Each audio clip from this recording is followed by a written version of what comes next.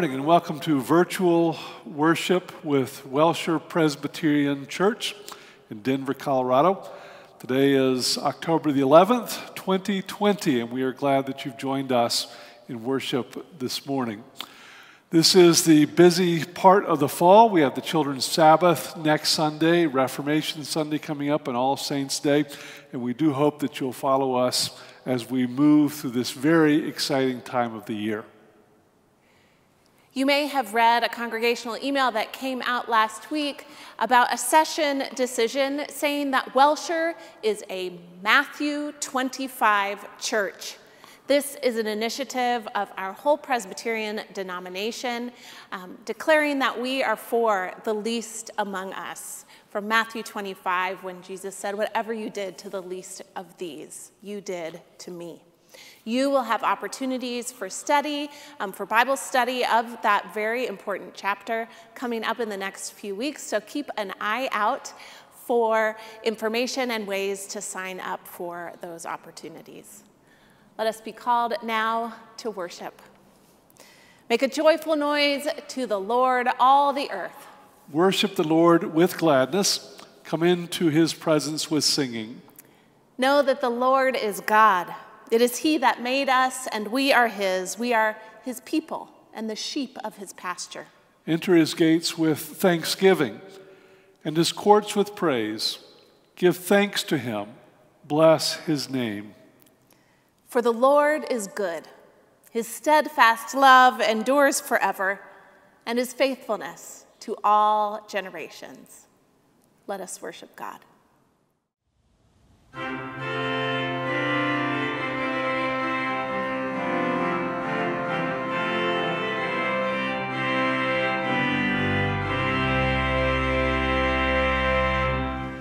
Rejoice, the Lord is King,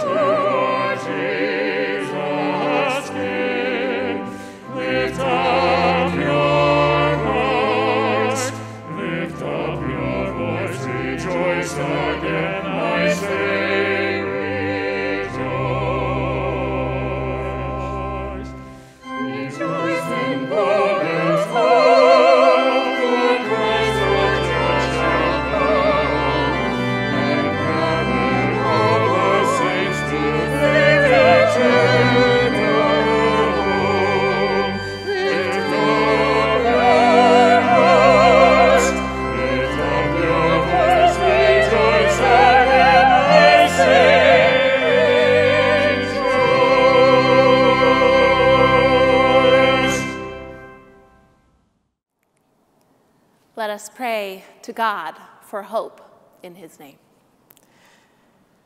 Glorious God, we come before you as a hurting and humbled people. We bow before you today in need of hope.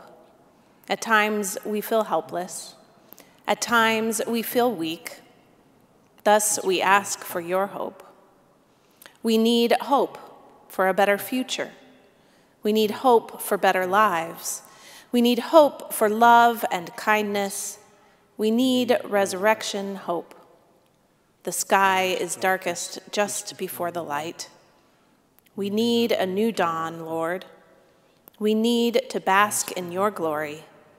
We need to know that all is right and just in the world. as you want it to be. Help us to walk in your light and live our lives in faith and truth. In your name we pray. Amen. Now, faith is the assurance of things hoped for, the conviction of things not even seen. So we walk in faith and not by sight. Let us have hope in God.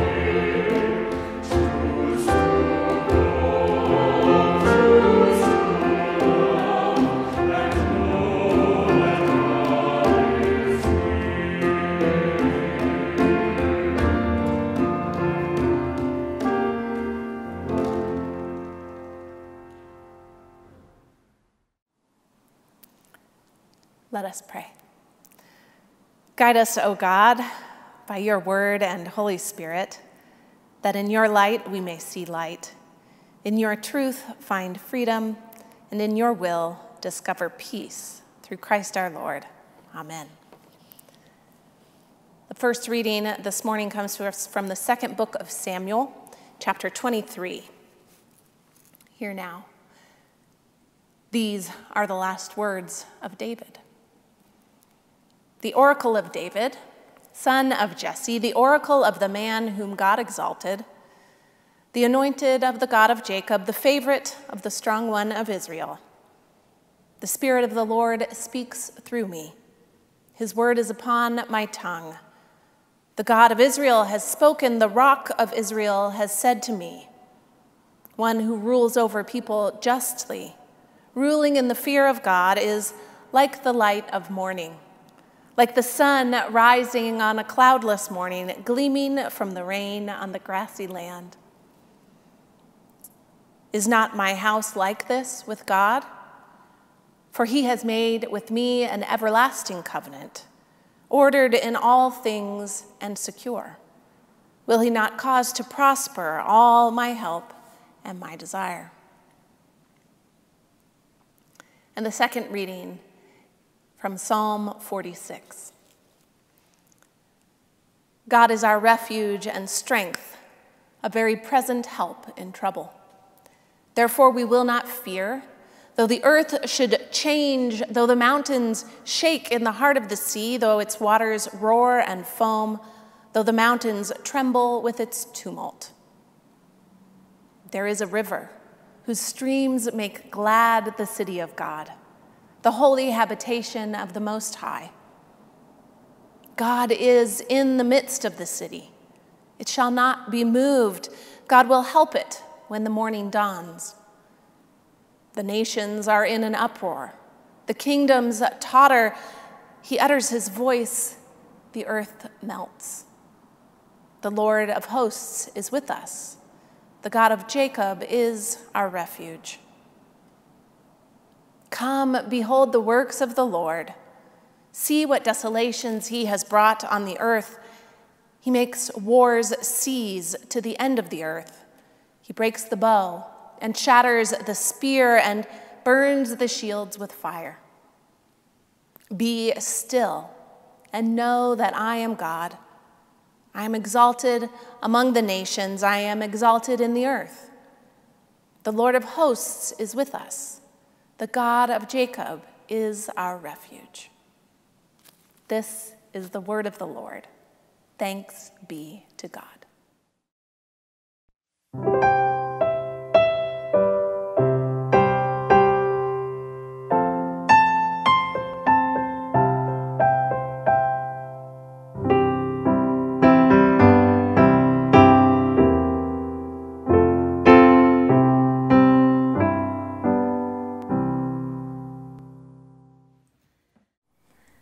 Morning. When I was in middle school, I picked a fight with a bully. I didn't like this boy because he said lots of unkind things and pushed people around. And one day I'd had enough and I started a food fight with him. Now, you all are a lot smarter than me, so I don't have to tell you because you already understand this much better than I did as a kid. But starting fights is a bad idea and does not solve problems. And I got in a lot of trouble for starting the fight and suspended from school. As I grew up and learned more about Jesus, do you know that Jesus started fights too? Now, Jesus' fights were different than the kind of fight I had. Jesus' fights were against the type of things that hurt people. Jesus fought for love, joy, peace, and fairness. Jesus see, could see God in all people, so he fought for them. And as followers of Christ, we are to do the same. We have lots of fighters at Wellshire. I have a friend, Karen. You might know her because of the funny hats that she wears. She fights against hunger. She and a team of fighters called the Hunger Task Force give food to people who don't have enough. I have a friend, Marty, who fights for all children to get a good education, and she works with volunteers to fight for the children of Schmidt Elementary School. And I have a friend, Mary Margaret, who fights against racial injustice and systems that don't treat people fairly. These are the kind of fights that Jesus wants his friends to take on. Jesus knew some sad things would happen in the world. He told his friends over and over again that even when sad things happen, they shouldn't be afraid. He let them know that he was bigger than any of these scary things and that he would always be with them and put peace in their hearts.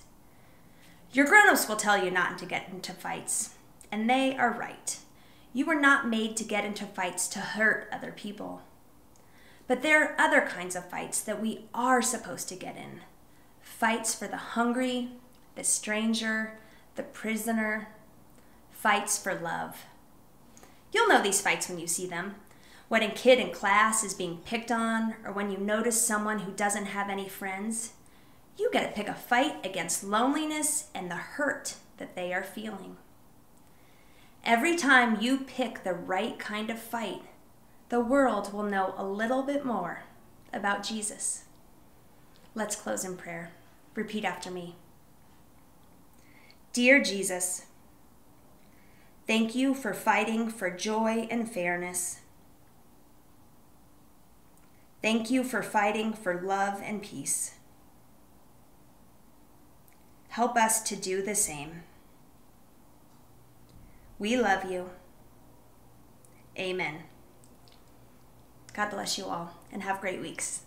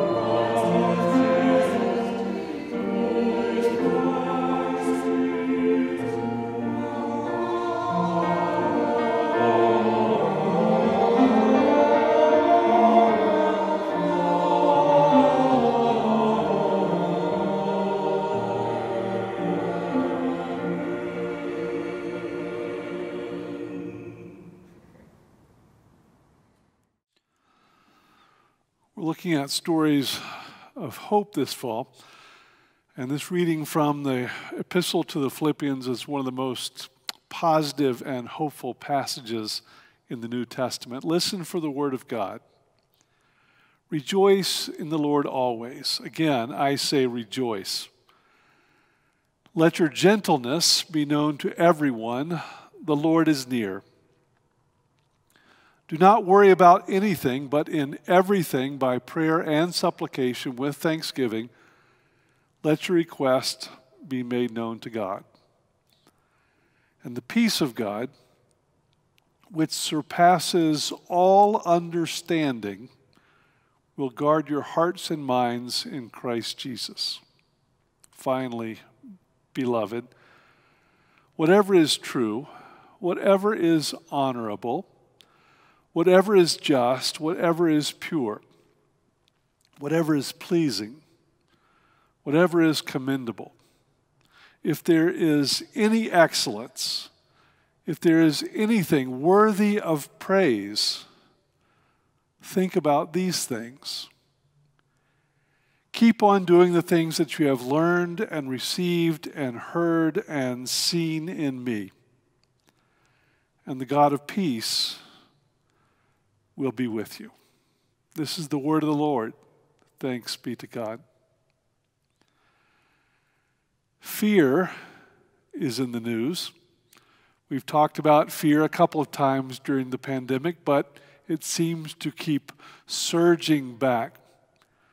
I did a, little research this week, and apparently, uh, the top few fears in America in general fear of heights coming in at 28.2% of the population, a fear of reptiles, crocodiles, snakes, lizards. 23.6% of the population are afraid of those things. Public speaking comes in at 25%, deep lakes and oceans at 18.2%, and then oddly, I found 6.7% of the population in America are afraid of clowns. I personally am afraid of oceans and, in particular, sharks in the ocean. I have a, an app on my phone which tells me where the latest shark attacks are in the United States. Fear, left unchecked, can dominate us, can paralyze us, and it can be extraordinarily destructive. There are some positive things about fear, which we'll come to momentarily. In 1819, the whale ship, the Essex, took off from Nantucket Eventually, on its uh, pilgrimage, it was hit by a sperm whale, and the ship sank. The men on the ship, the 20 sailors, climbed into three small whaling boats. And they were going to shore, but they were afraid of the closest islands because they had heard rumors of cannibalism. And so they decided to take the long way to find shore. They did not find shore, and eventually they started to die, and eventually, um, because they had no food and no water, they cannibalized themselves. The very thing that they were afraid of ended up doing them in, ironically. Calvin, John Calvin, said the mind is a permanent factory of fear, and I've always liked that phrase. Luke Powery, who's the chaplain at the, uh, at the Duke Chapel, says when fear destroys a life and its purpose and potential, then fear becomes a tragedy. He, in a sermon, refers to the parable of the talents, in which two servants double their talents. One makes uh, 10 out of 5, and one makes 4 out of 2. But the third servant buried his treasure and returned that one talent to the master because he said he was afraid. He was afraid. Powery says he should have buried his fear and not his treasure. Fear can be a destructive tool, but it can be constructive as well. Fear can be a good thing. Touching, being afraid of touching fire is a wise thing. Being afraid of walking across the interstate while cars are speeding by can be a good thing. Fear of opening an aircraft door at 30,000 feet can be obviously a great thing. There's a book called The Gift of Fear, which talks about the importance of listening to our instincts. And that becomes important. In fact, the Bible says the fear of the Lord is the beginning of wisdom. The fear of the Lord is the beginning of wisdom. Obviously, that's not being terrified of God, but that's having a certain amount of respect for God, a reverence for God, a, an awe in God's presence. That's obviously a good use of fear.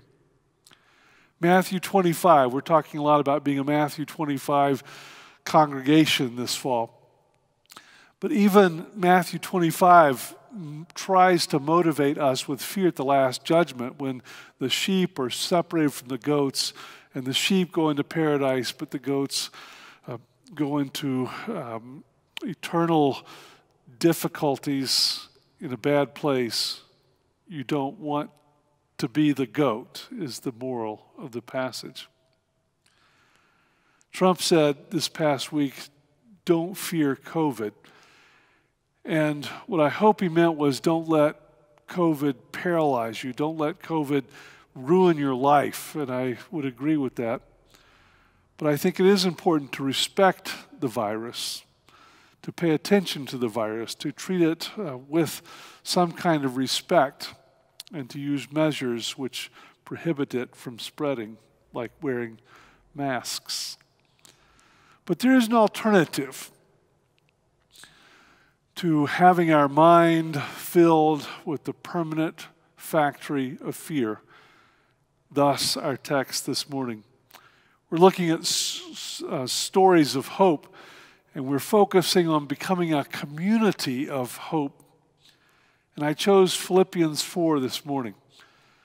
It's a reading we often use at funerals and memorial services because it is the final words of Paul, perhaps the final words of Paul. Paul had different kinds of relationships with all of the churches that he writes epistles to that are recorded in the New Testament canon. But with Philippi, the churches in Philippi, and I say churches plural because they were little house churches becoming one church.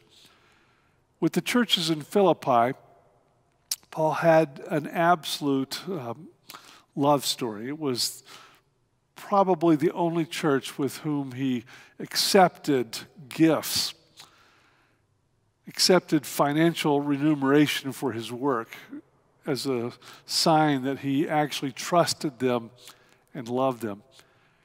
And this epistle to the Philippians is a thank you letter for a gift noting their assistance to him. It probably, it's not clear, probably was written from Rome, probably from a jail cell, and probably as his execution neared. It is a dire consequ- it is a dire setting, regardless of exactly where it is. It's obvious his life is coming to a close. And so in this letter to the Philippians, a thank you letter, he writes his final exhortation. He says, Finally, beloved, and this is not suggesting the letter is coming to a close, but that perhaps his life is nearing its end. Finally, beloved,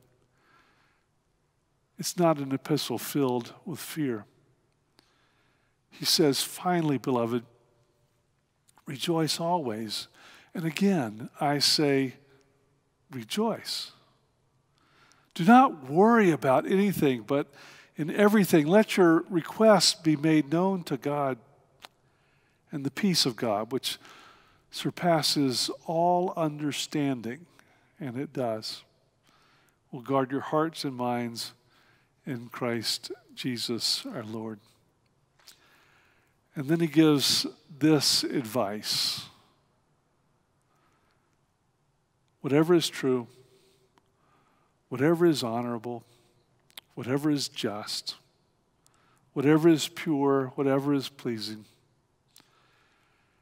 whatever is commendable, if there's any excellence, if there's anything worthy of praise, think about these things.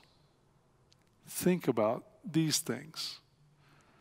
Keep on doing the things that you have learned and received and heard and seen in me, and the God of peace will be with you. Wow.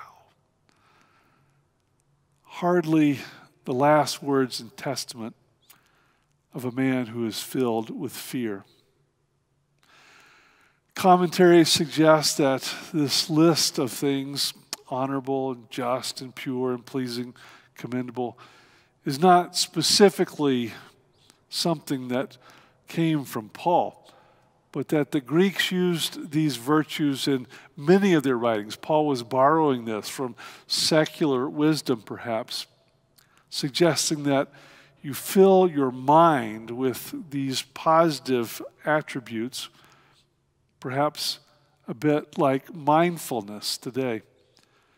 Many people suggest that in this time of difficulty, in this time of darkness, during the global pandemic, when we're struggling um, with racial reconciliation and economic despair, that we need to flood our minds with things like gratitude, things that we are thankful for. Many suggest that it's important now more than ever to keep a gratitude journal or remember in your prayers five things that you're grateful for that happened during the day.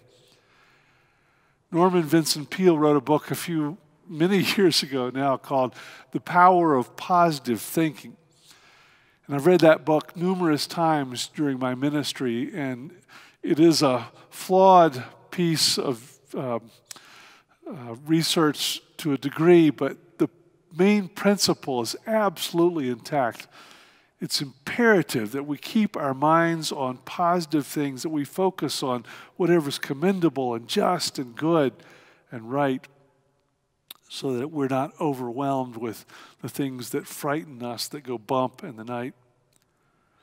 Fred Buechner, the Presbyterian minister um, turned writer who we quote too often, suggests that Christianity might be summed up as mainly uh, wishful thinking, wishful thinking. Things that we hope for, things that we haven't even seen, and that somehow this wishful thinking motivates us and empowers us to be faithful in our time.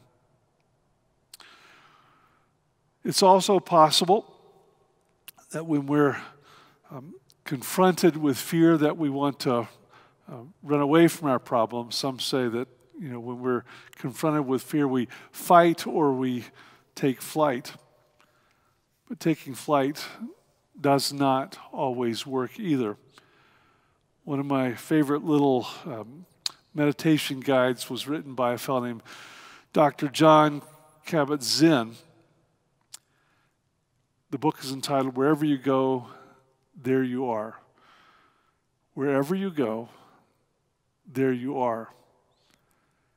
And the main theme throughout those little meditation practices is that whereas it might be tempting to run away from our problems, and sometimes it is important to run away from our problems, the one person you can never run away from is yourself. That wherever you go, there you will be.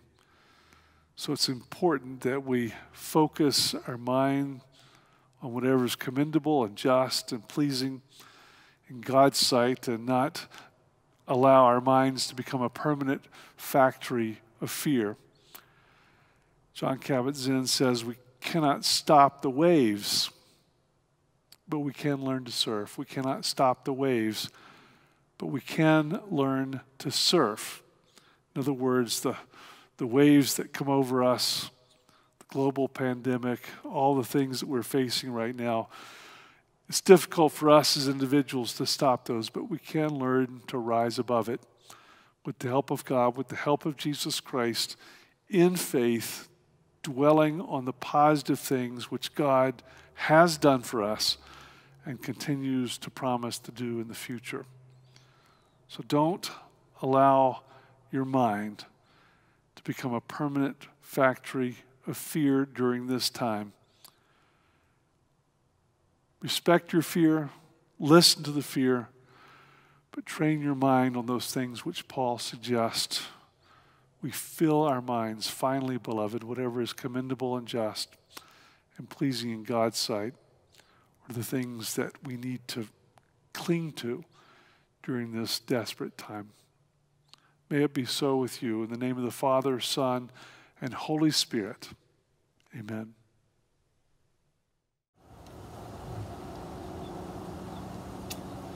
Good morning, Wellshire. I am Brian Bishop, and this is Mary Margaret Bishop, and we're here to talk about hope. Uh, to be honest with you, when we were presented with this topic, we found it to be a bit challenging. Uh, there's lots of change going on in the world and in our lives personally, uh, lots of fear, lots of uncertainty and doubt, and it was hard to um, tackle this topic. But when we took a step back, um, lots of things came to mind. Uh, for example, for our family personally, uh, our dog was in decline and ultimately passed away during the pandemic and we felt truly privileged and blessed to be able to be with him and spend the time with him um, and really cherish him and, and attend to his needs. Um, and, and we would not have been able to do that uh, had we been jumping in our cars and rushing off to work and school and going through our daily grind uh, for multiple hours out of the day. So um, that was our kind of our family's perspective, and I'll let Mary Margaret share some more. So, Brian and I definitely have struggled to, to find the silver lining during this time, but I, I think to echo what he said, um, this change of pace has enabled us to connect with our neighbors more. We don't just come home and close the garage. Um, we're here and we can um, from a social distance, be able to actually get to know our neighbors more, and that has truly been a blessing. I think we've also um, recognized that this change of pace has brought an awareness to us um, and to others um, of another pandemic that has been in our country for over 400 years, and, and that's the pandemic of racism. Brian and I have embarked upon our own journey of learning and relearning um, information that we knew about this topic and how we ourselves have upheld racism, uh, continue to uphold racism in our day to day lives. Um, but there is, we've seen hope in this opportunity too of learning. Um, we haven't been the only ones to engage in conversation. We've engaged in this conversation with our white neighbors. Um, we've seen topics come up in our workplace around really examining policies and practices. Um, even at Wellshire Presbyterian, there is an anti racism task force that is really committed to um, learning what we can do to dismantle racism and look at our own institution and how we've upheld this. So I see hope. Uh, I believe God is working in us and through us um, and working on us. Um, and challenging us to really work together as Christians for a more just and equitable society. Thank you for this opportunity to provide a message of hope. Thank you.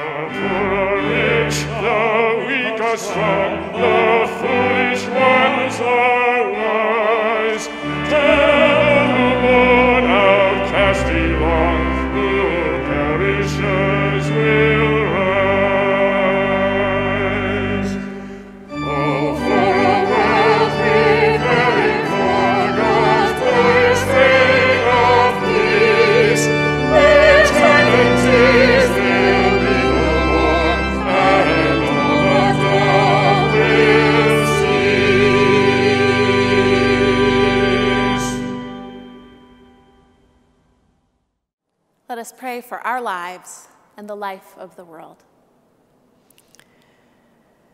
O God, our refuge and strength, in whom we live and move and have our very being, in the stillness we rejoice in you. We know your presence, and we dream of the river whose streams make glad the city of God. Lord of hosts, the nations are in an uproar, always, it seems. And so we pray for your peace, that you would break the bow and shatter the spear, bring reconciliation where there is conflict, repentance where there has been wrong, restoration where there has been brokenness. Our hope is in you. And our hope, we hope, would stir us into action. We seek to be part of that city of peace, O God, to follow in the ways of Jesus, that your kingdom would be built, to do the things that we have learned and received and heard and seen in him. And so, whatever is true, when truth is hard to find, give us discerning minds that seek the truth not just for ourselves, but the truth from the perspective of those in greatest need. Whatever is honorable, when respect seems in scarce supply, let our treatment of all your children be thoughtful, kind, and honoring of difference. Whatever is just, O God, let us understand justice.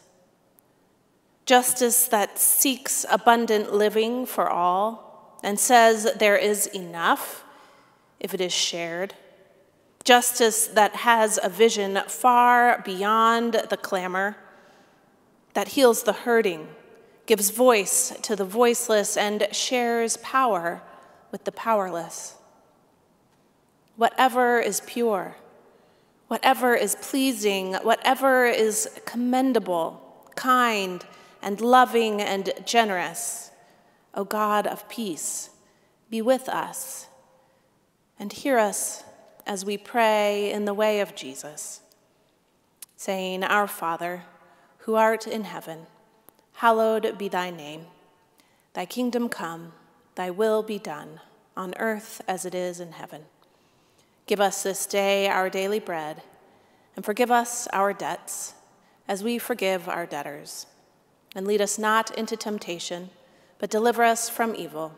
For thine is the kingdom, and the power, and the glory forever. Amen.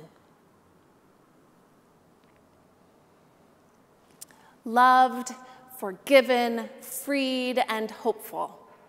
We have the opportunity to give of ourselves, to share in supporting the work of the church and the giving of the church in support of our entire community. We thank you for your gifts to Wellshire, which can be made um, through the website in the links provided, as well as just by simply mailing a check to the church. There are those who are able to pick that mail up daily. Let us now give our tithes and offerings.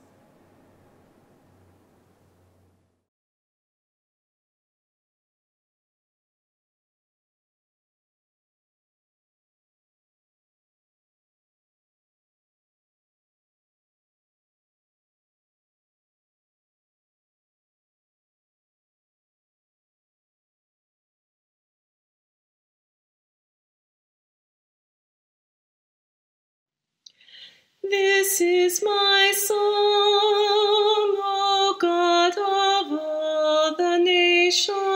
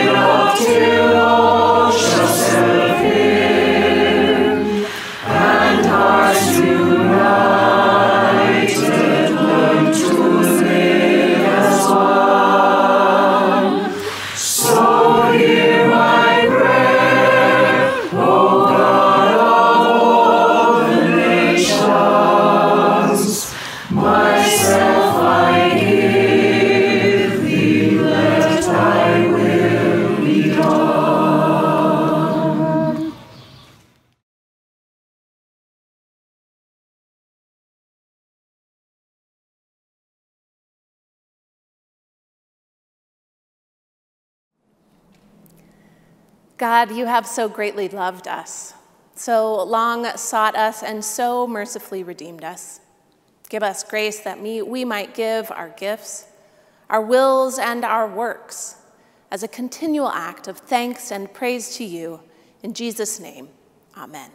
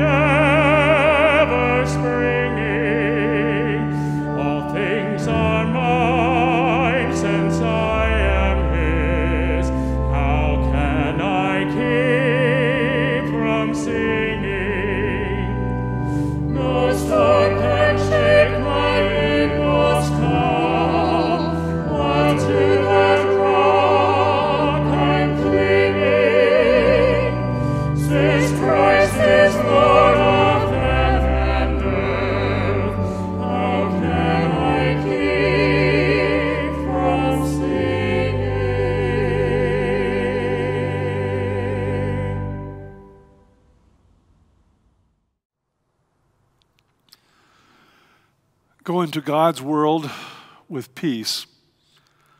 Love the Lord, your God, with all of your heart, with all of your strength, with all of your soul, with all of your mind. And love your neighbor as you love yourself. And now, may the grace of our Lord and Savior Jesus Christ, the love of God, and the fellowship of the Holy Spirit abide in your hearts this day and forevermore. Amen. Thank you.